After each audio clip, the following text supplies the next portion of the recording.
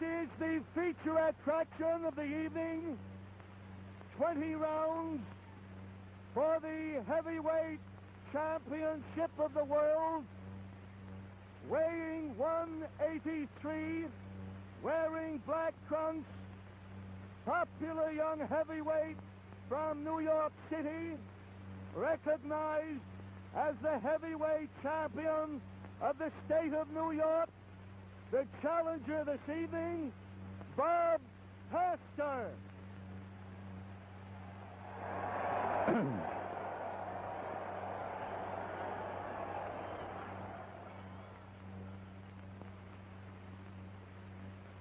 weighing 200 pounds, wearing the purple trunks, native son of Detroit, who proved himself to be a credit to his chosen profession and the race he represents, the current heavyweight king, Joe Louis.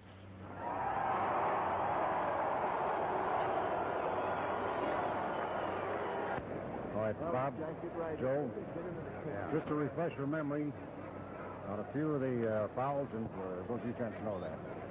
Uh, heeling, thumbing, backhand, open glove is barred.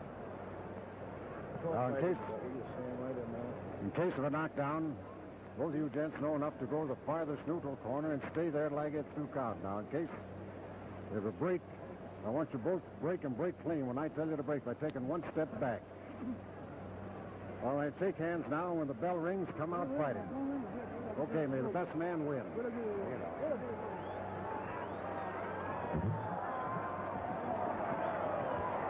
Just step away.